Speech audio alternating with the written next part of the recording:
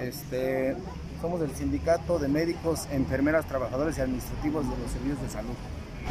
Así abreviada- abreviadamente.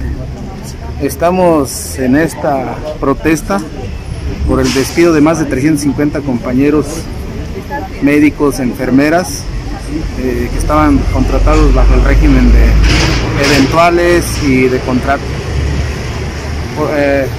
Ahí mismo estamos exigiendo eh, la definitividad laboral de estos compañeros, básicamente. Eh, ¿Cuál fue el motivo por el cual los hayan separado de sus, de sus cargos? Pues aducen motivos presupuestales, más que nada. Esa es la situación. Eh, ahora sí que en lugar de apoyarlos, que es con lo de la pandemia, Así es. que los recortan. Así es, sí, en lugar de que estén contratando más médicos para atender a la población, ahora les, es- los están cesando, este, no les quieren dar de nuevo el contrato. Nosotros pensamos que están haciendo este recorte para ellos meter a, a su gente, ¿no? Acoso laboral.